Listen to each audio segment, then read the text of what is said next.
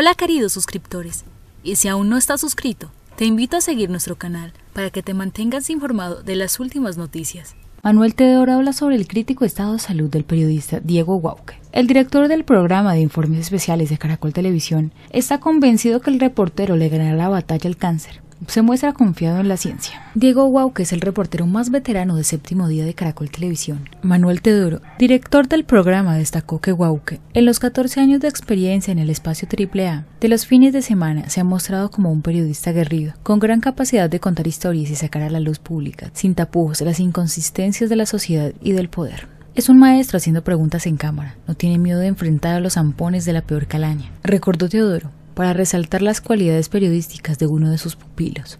Por eso tiene claro que así como ha dado las batallas sin miedo, va a encarar el cáncer. Un gladiador como Diego Wauke, tan intrépido como él, no va a ser vencido por esa enfermedad. El hombre, que durante años ha guiado el trabajo del reportero, está convencido que él va a luchar, y así como lucha para demostrar la verdad, para destapar ollas podridas y para sacar respuesta fácil, haciendo preguntas difíciles. Él va a luchar contra esto, él va a ganar. En conversación con el director del programa de informes especiales, señaló que Wauke está en las mejores manos, pues asegura que en la Fundación Santa Fe cuentan con profesionales de alta calidad. En una similitud con el trabajo que realiza desde el programa de denuncias, Teodoro indica que el cáncer será vencido en juicio y se llevará a la peor condena con el deseo que tiene Diego de colaborarle a los médicos. A ese cáncer le vamos a dar la máxima pena, 60 años de expulsión de su cuerpo. Finalmente reafirmó que tanto él y como el equipo periodístico del programa, al igual que los directivos del canal Caracol, están acompañándolo a la recuperación. Él ha decidido contar en sus redes sociales a sus televidentes y seguidores el paso a paso de la lucha que ha tenido que vivir desde que arrancó el 2023. Su esposa, Alejandra Rodríguez, también reconocida periodista,